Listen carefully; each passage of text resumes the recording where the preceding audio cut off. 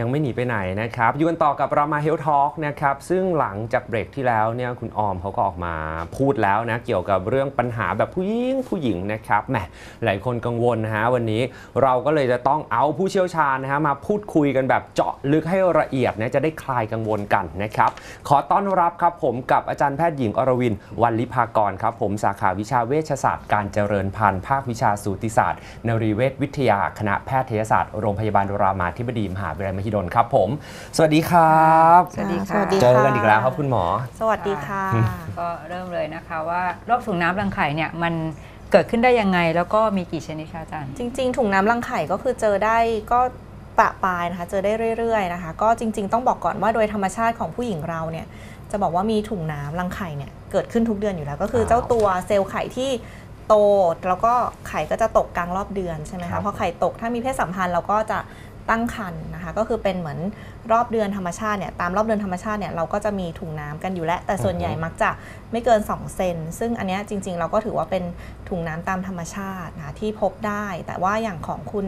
ออมบูเบอรี่นะคะก็คือมีขนาดเกิน 2 เซนก็คือมีสัก 3 เซนขึ้นไปครับหรือว่า 4 เซนขึ้นไปเนี่ยจริง ๆ ก็อาจจะต้องดูแล้วว่าเออพวกเนี้ยอาจจะไม่ใช่ถุงน้ำที่ตามรอบเดือนธรรมดาอืมส่วนใหญ่ตามรอบเดือนธรรมดาผู้หญิงเราปกติก็จะไข่ตกเดือนละฟอง ก็มักจะมีแค่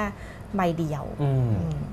คือหมายว่าในแต่ละเดือนเราสามารถมีถุงน้ำในตัวเราได้ใช่สัก2เซนได้ใช่แล้วก็ค่ะแตกไป ใช่แล้วก็แล้วก็พยุอบพอตอนที่มันตกมันก็จะแตกไปแล้วก็จะก็ยุยุบบอ่าแล้วก็ฝ่อสลายไปโดยธรรมชาติค่ะค่ะแต่ถ้าอยู่ค้างไว้ตลอดหรือโตกว่า2เซน3เซนเนี่ยอ่าก็อาหจรือจะว่ามีมากกว่า 1 ฟองเงี้ยอ่าก็อาจจะสงสัยมีปัญหาแล้วว่ามีปัญหาไหมค่ะนะคะ ส่วนใหญ่ถุงน้ำรังไข่เนี่ยจริงๆเราก็แบ่งง่าย ๆว่าเป็นอ่า เป็นตามรอบธรรมชาติครับผมอ่าหรือว่าเป็นตัวโรคก็คืออมเป็นความผิดปกติอ่าก็คือเป็นถุงน้ำรังไข่ที่เป็นโรคนะคะ ซึ่งตัวโรคเนี้ยเราก็ต้องมาแยกอีกว่ามันเป็นอ่าเนื้อดีหรือเนื้อร้ายนะคะ ซึ่งอ่าเวลาเราจะแยกส่วนใหญ่พวกอ่าถุงน้ำรังไข่เนี่ยถามว่าคนไข้จะมีอาการไหมเออนั่นน่ะสิอ่าครับก็ส่วนใหญ่ก็มักจะไม่ค่อยมีอาการนะคะ ยกเว้นอย่างเดียวที่จะมีอาการก็คือพวกเอ่อกลุ่มถุงน้ำรังไข่ที่เป็นช็อกโกแลตซิสอืมอ่าอันนั้นก็มักจะมีอาการเรื่องปวดประจำเดือนนำมาก่อนครับผม นะคะ ซึ่งพวกนี้บางทีเราก็ต้องตรวจจากจากการตรวจอันตราซาวนะไม่ว่าจะเป็นการตรวจภายใน ตรวจอันตราซาวทางช่องคลอดหรือตรวจอันตราซาวทางหน้าท้องเนี่ยส่วนใหญ่ก็มักจะเห็น ค่ะครับผมอันนี้ดีกว่าผมถามแทนคุณสุภาพสตรีเลย เพราะว่าผมก็มีรุ่นน้องมีใครหลายคนโอ้เขากังวลมากเพราะว่าผู้หญิงพอเป็นถุงน้ำในรังไข่หรือว่าเป็นอะไรเกี่ยวอย่างเงี้ยเขาจะมองว่าเอ๊ะมันจะนำไปสู่เนื้องอก หรือว่าเป็นมะเร็งหรือเปล่าอะคุณหมออธิบายหน่อยสิฮะอ่าจริง ๆ ก็คือต้องบอกก่อนนะคะ ก็คือถ้าเกิดเป็นถุงน้ำตามรอบเดือนเนี่ยก็อย่างที่ใน VTR เหมือนครับผมฉายไปแล้ว ส่วนใหญ่ก็หมอก็จะอาจจะให้ทดลองโดยการอ่ากดฮอร์โมนธรรมชาติก็คือให้กินยาคุม ถ้าเกิดว่าเป็นอ่า ถุงน้ำที่เป็นธรรมชาติหรือตามรอบเดือนเนี่ยเรากดฮอร์โมนธรรมชาติเราก็คือกินยาคุมสัก2อสรอบเดือนแล้วมาอันตราซาวด์ซ้ำเนี่ยส่วนใหญ่ก็คือหายอ่าร้อยก็เปอร์จะเซ็นต์ครับผมอ่าแต่ว่าถ้าเกิด ถุงน้ำนั้นอ่าดูมีก้อนเนื้องอก หรือมีก้อนเนื้ออยู่ข้างใน อันเนี้ยก็ต้องสงสัยแล้วว่า อันเนี้ยไม่ใช่ถุงน้ำตามธรรมชาติแน่นอนอ่าก็อาจจะเป็นลักษณะเป็นเอ่อเนื้องอกรังไข่หรือเปล่านะคะ ซึ่งจริงๆ ถ้าเกิดว่ามีลักษณะที่เป็นเนื้อก็คือเนื้อตัน หรือว่าอะมีดูมีลักษณะมีเนื้อบางอย่างอยู่ข้างในที่ไม่ใช่เป็นถุงน้ำใสๆอย่างเดียวเนี่ยก็สงสัยแล้วค่ะว่าอาจจะเป็นเนื้องอกรังไข่ที่ต้องได้รับการรักษาโดยการผ่าตัดโอ้อ่า ค่ะ แล้วจากช่วงที่แล้วที่คุณออมเล่าให้ฟังว่าก็คือมีการกินอาหารเสริมอืมมีกินพวกยาลดความอ้วนเนี่ยนะคะแล้วก็คุณออมคิดว่าเนี่ยมันส่งผลทำให้เกิดถุงน้ำรังไข่อันนี้จริงไหมคะจริง ๆ เท่าที่เหมือนเมื่อกี้มีการพูดถึงตัวยาตัวอ่าหนึ่งด้วยก็คือค่ะ glutathione อ่าเออจริง ๆ ก็ต้องบอกก่อน glutathione ที่ว่าจริงฉีดแล้วขาวกินแล้วขาวเนี่ยใช่ไหมจริงคะๆก็มันก็เหมือนเป็นคล้ายๆ กับอะไรนะคะอาจารย์เป็น antioxidant อ่าอ่าตัวหนึ่งซึ่งจริง ๆ ตามข้อมูลเนี่ยไม่ได้มีผลทำให้เกิด อ่าถ้าตามถุงของน้ำเอ่อของหมอก็คือไม่มีผลต่อทำให้เกิดถุงน้ำรังไข่หรือว่ามีผลทำให้ประจำเดือนผิดปกตินะคะครับนั่นจริงผมคือไม่น่าเกี่ยว จริง ๆ ไม่น่าเกี่ยวค่ะค่ะอืมแต่ก็แล้วแสดงว่ามันเกิดของมันเองตามธรรมชาติใช่ไอ้มันจะเกิดมันก็เกิดของมันแหละใช่แต่ว่าก็คือเหมือนเห็นว่ามีประวัติประจำเดือนผิดปกติมาก่อนอ่าซึ่งอันเนี้ยจริง ๆ ก็ถุงน้ำรังไข่ที่เราเห็นเนี่ยบางทีอาจจะเป็นจากพวกไข่ที่ไม่ตก ซึ่งถ้าแบบอะดูฟังรู้สึกลักษณะคือถ้าแบบงานยุ่ง เครียดเครียดอ่าหรือว่าจริง ๆ ถ้าช่วงที่น้ำหนักเปลี่ยนแปลงเยอะๆอะอย่างเช่นลดความอ้วนแล้วน้ำหนักลงเร็วๆเนี้ยค่ะก็ของผู้หญิงเราเนี่ยก็จะเซนตกใจอ่าก็อะไข่ไม่ตกก็เลยทำให้อะมีซิสแล้วก็ประจำเดือนผิดปกติได้ครับผมและนี้ถามถึงอะถ้าบอกว่าอาหารเสริมต่างๆ ถ้าถ้าเรากินทางสายกลางเนื้อะไม่ได้มากไปน้อยไป อาจจะไม่เกี่ยวแต่ถ้าสมมติผู้หญิงที่รับประทานยาคุมกำเนิดเป็นประจำอะไรอย่างเงี้ยฮะมันจะเกี่ยวเกี่ยวกับไอ้เจ้าโรคนี้ไหมฮะ จริงๆก็ต้องบอกว่าหนึ่งในข้อประโยชน์ของการกินยาคุมกำเนิด หรือว่าครับการคุมกำเนิดโดยการรับประทานยาเนี่ยจะช่วยลดโอกาสการเกิดถุงน้ำรังไข่อยู่แล้วอ่าอ่าแล้วก็นอกจากนี้เนี่ยอ่ายาคุมกำเนิดเนี่ยก็ยังเป็นอ่าเขาเรียกว่าเป็นการรักษา โรคถุงน้ำรังไข่หลายชนิดเลยค่ะ ทั้งก็อาจจะมีบางคนที่เคยมีแบบถุงน้ำรังไข่แตก ต้องรับการผ่าตัดเนี่ยคุณหมอก็จะให้กินยาคุมกำเนิด เพื่อป้องกันการเกิดซ้ำหรือว่าพวกอ่าช็อกโกแลตซีดนะคะก็เราก็จะแนะนำว่าหลังผ่าตัดรักษาแล้วเนี่ยก็จะแนะนำให้คนไข้เนี่ยรับประทานยาคุมกำเนิดต่อเนื่องสักประมาณ 2 ปีเพื่อลดการเกิดซ้ำเช่นเดียวกันค่ะครับค่ะจริงเมื่อกี้อาจารย์ได้คุยไปแล้วส่วนหนึ่งว่าถ้าเราจะวินิจฉัยเนี่ยก็คือต้องมาตรวจภายในใช่ไหมคะไม่ว่าจะเป็นตรวจแบบปกติรวมถึงการอัลตราซาวด์ส่วนใหญ่ทงก็น้ถ้าท้องทงช่องเล็กคลอดๆไม่ถึง4เซนเนี่ยมักจะต้องอันตราซาวด์ค่ะถึงถึจะงเจจะอเจอถึงจะใช่ไหมคะใช่แล้วก็หลังจากเอ่อรู้ละก็คือการรักษาคือมีการกินฮอร์โมน ใช่ค่ะ แต่ถ้าผ่าตัดนี่จะกรณีไหนบ้างคะกรณีที่เราสงสัยว่ามันเป็นเนื้องอกจริงอ่าๆอาจจะไม่ใช่เชิงว่าเป็นถุงน้ำคือถุงน้ำเนี่ยตามปกติก็คือต้องเป็นถุงน้ำใสใสๆอ่าดูข้างในไม่มีเนื้อ ไม่มีแบบห้องกั้นไม่มีกำแพงกั้นข้างในอะไรอย่างเงี้ยค่ะนั่นส่วนใหญ่ก็การรักษาจะไปด้วยฮอร์โมนก่อน แล้วก็ถ้าไม่ได้สงสัยเนื้อร้ายหรือเนื้องอกก็จะไม่ได้ผ่าตัดใช่ไหคะสามารถติดตามอาการได้ แล้วมันจะหายขาดหรือว่ามันจะกลับมาเป็นใหม่อย่างเงี้ยมันได้ยังไงก็ได้หมค่ะ ถ้าบางคนที่เหมือนมีภาวะที่ไข่ไม่ค่อยตกเนี้ยค่ะ ก็จะเป็นซ้ำๆเหมือนแบบพอสักพัก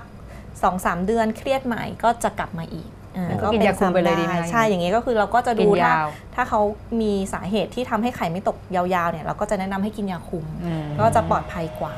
ครับผม แล้วนี้ถามคุณหมอนิดนึงที่เมื่อกี้แหมผมผมเหมือนแบบเห็นบอกว่าถ้าไม่ไปเช็คไม่ไปตรวจภายในเลยมันไม่เจอ แล้วมันพอจะมีอาการอาการอะไรที่เราสังเกตได้ไหมว่าว่าเอ๊ะอันเนี้ยควรจะสงสัยแล้วนะ จริง ๆ ก็เป็นคำถามที่ดีนะคะคือคือส่วนใหญ่พวกถุงน้ำรังไข่เนี่ยคนไข้เนี่ยมักจะมีอยู่กับตัวแล้ว แต่ว่ามันจะไม่มาไม่มาหาหมอจนกว่าจะมีอาการครับผมอาการพวกภาวะแทรกซ้อนของถุงน้ำเหล่านี้ค่ะ ก็ตั้งแต่แตก บิดขั้วหรือว่ามีเลือดออกในถุงน้ำอืมซึ่งอันเนี้ยพอถ้าเกิดมีภาวะแทรกซ้อนขึ้นมาแล้วเนี่ยอะมาหาหมอเลยใช่จะทำให้คนไข้เนี่ยมีการปวดท้องมากปวดทันทีทันใดนะคะ ปวดแบบนอนอยู่ไม่ได้เลยก็คือต้องมาพบคุณหมอ แล้วก็การรักษาเนี่ยถ้าอ่ามันมีการบิดขั้วหรือมันมีเลือดออกในในบิดก้อขั้วนคือยังไงเดี๋ยวคือมันบอกมันผมไม่มันมีรังเดี๋ยวไข่เป็นลูกดี๋ยวมันจะเป็นนะมันจะเป็นอย่างนี้เนี่ยลูกอันเนี้ยคือถุงน้ำอ่าอะอันเนี้ยครับคือรังผมไข่อันนี้รังไข่มันจะอยู่ข้างๆ อันนี้คือมดลูกครับ อันนี้คือผมดลูกอันนี้รังไข่ แล้วก็ถ้าเกิดรังไข่มันมีก้อนมันถ่วง มันก็สามารถบิดขั้วได้อ๋อเอาพอโอเคบิดขั้วรังไข่ก็ขาดเลือดอ่ามันก็เลยจะทำให้เกิดอาการปวดจากอืมการขาดเลือดอันเนี้ยได้ครับผมซึ่งถ้าเหมือนเรามีภาวะแทรกซ้อนเกิดขึ้นแล้วเนี่ย การรักษาเนี่ยจำเป็นจะต้องผ่าตัดอย่างเดียวเลยอืมเนี่ยเขาขึ้นรูปให้เราดูเลย ใช่ อันเนี้ยก็คือค่ะตรงรังไข่ปีกก็จะอยู่ตรงปีปีกกมดลูก แล้วถ้ามันบิดเนื้อะเพราะมันมีถุงน้ำอใชยู่่ค่ะค่ะงั้นก็คืออาจารย์แนะนำนิดนึงค่ะว่าเราจะควรดูแล คือเราไม่อยากเป็นดีสุด ใช่ นะเพราะฉะนั้นเราจะดูแลค่ะยังไงดีคะที่ไม่ให้ป้องคือเป็นการป้องกันเพื่อไม่ให้เกิดโรคถุงน้ำรังไข่มันคือป้องกันได้ไหมคะจริหงๆรือวันแล้วแต่ค่ะ ดวงจริงๆมันเออป้อเกิงดกัมันนก็เกิด นี่จริง ๆ ก็ป้องกันไม่ได้นะ จริง ๆ ก็อ่าอาจจะแค่ถ้าเกิดดูจากประวัติคนไข้ถ้าสังเกตอาการถ้าประจำเดือนผิดปกติเนี่ยอ่า ถือว่ามีความเสี่ยงที่จะเกิดถุงน้ำรังไข่พวกเนี้ยอาจจะต้องเข้ามาตรวจตั้งแต่เริ่มเริ่มๆหรือพวกที่อะคนไข้ผู้หญิงที่มีอาการปวด ประจำเดือนบ่อยๆอะปวดมากๆ เนี่ยอยากให้เข้ามาตรวจคัดกรองว่าเป็นอ่าช็อกโกแลตซีดหรือเปล่านะคะ ส่วนอ่าอันเนี้ยพวกเนี้ยก็ถ้ามีอาการก็เข้ามาตรวจไว้ก่อนเลย แต่ถ้าไม่มีอาการเราก็อย่างที่บอกแล้วเนาะผู้หญิงเราแนะนำอยากให้ตรวจภายในปีละครั้งเอ่อการตรวจภายในเนี่ยก็จะพอคลำเนี่ยก็จะรู้ได้ค่ะว่าเออมีถุงน้ำรังไข่ที่มันโตเกิน 4 เซนหรือเปล่าครับผมนะคะอืมอาจารย์แนะนำให้ผู้หญิงอายุเท่าไหร่คะที่ต้องตรวจภายในแล้ว จริง ๆ ถ้าถุงน้ำรังไข่เนี่ยมันจะไม่เหมือนตัวอ่า มะเร็งปากมดลูกค่ะอาจารย์ คือ ถ้าถุงน้ำรังไข่ต้องบอกก่อนว่า โสดก็เป็นได้ เด็กก็เป็นได้อืมอายุเยอะก็เป็นได้ อันเนี้ยก็คือจะแนะนำให้ต้องตรวจภายในทุก 1 ปี ทุกหนึ่งปี ตรวจภายในในที่นี้ก็คือเป็นการคลครับผมำคลำก็คือคลำในช่องคลอดแล้วคลำเพื่อมาคลำดูว่ามดลูกโตไหมมีก้อนที่รังไข่หรือเปล่า ถ้า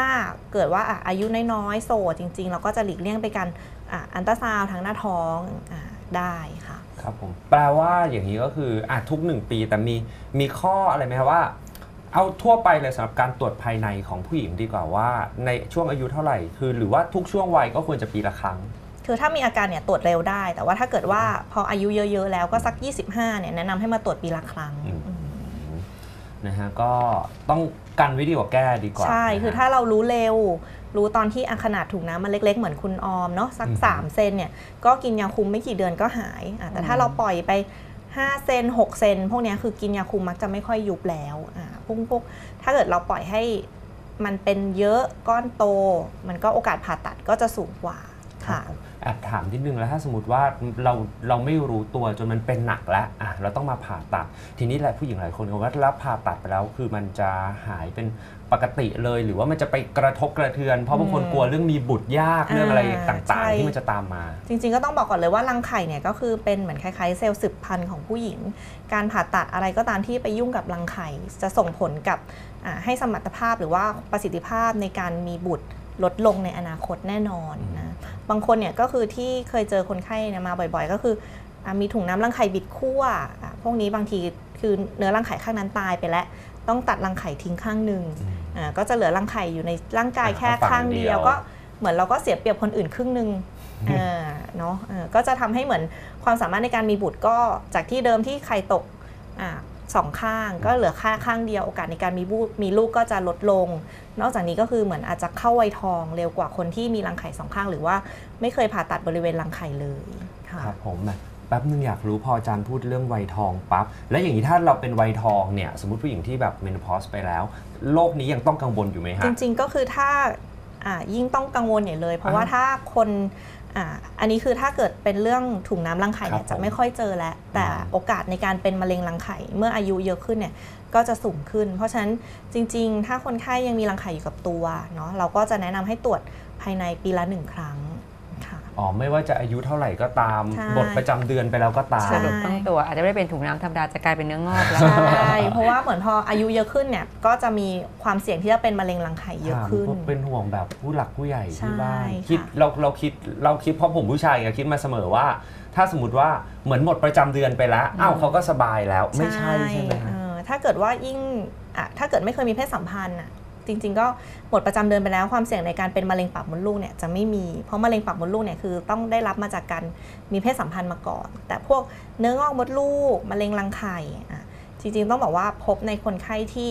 ไม่มีลูกเยอะกว่าอืมก็คือหรือโสดไม่มีลูกอะไรเงี้ยก็จะเจอพวกมะเร็งรังไข่หรือเนื้องอกมดลูกได้เยอะขึ้นค่ะนะฮะก็อะฝากคุณผู้ชมมาไว้นะฮะมันก็ เขาเรียกว่าเหมือนเราจะได้รู้แล้วก็ดูแลตัวเองนะฮะสุขภาพของเราเนอะบางทีเราจะเราต้องเป็นคนสังเกตแล้วล่ะนะฮะอะซึ่งวันนี้ต้องขอบคุณอีกครั้งหนึ่งนะฮะกับค่ะอาจารย์แพทย์หญิงอรวินวันลิภากรนะฮะจากสาขาวิชาเวชศาสตร์การเจริญพันธุ์ภาควิชาสูติศาสตร์นรีเวชวิทยาคณะแพทยศาสตร์โรงพยาบาลรามาธิบดีมหาวิทยาลัยมหิดลครับผมขอบพระคุณนะครับค่ะนะฮะอะก็ได้ความรู้กันไปโดยเฉพาะคุณสุภาพสตรี นะครับแต่วันนี้แหมในช่วงของพบหมอรามาก็เวลาหมดลงแล้วนะครับ ต้องบอกนะว่าสามารถติดตามพวกเราแบบนี้เวลาใหม่จำให้ขึ้นใจนะครับ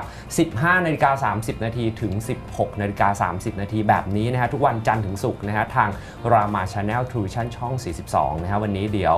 ผมคงต้องลาไปก่อนนะฮะแต่ว่าอาจารย์โสยังอยู่นะต่อฮะค่ะ อีกครึ่งชั่วโมง อีกหนึ่งชั่วโมงพักก่อนครึ่งชั่วโมงเดี๋ยวครับเจอผม กัน 17 นาฬิกา ครับผมนะคะกับลัดคิวหมอไลฟ์นะครับ ใครที่